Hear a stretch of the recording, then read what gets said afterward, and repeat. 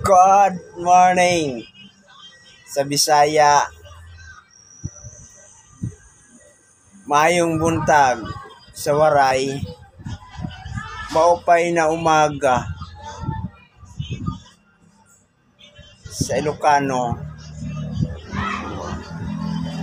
Oh, good morning tayo dyan. Iga-iga mo na ako dito mga friend kasi gusto ko man namnamin ang ko.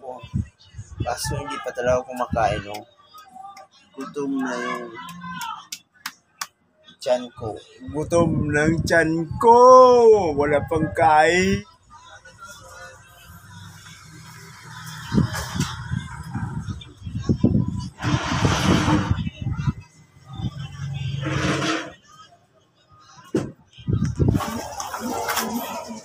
Go!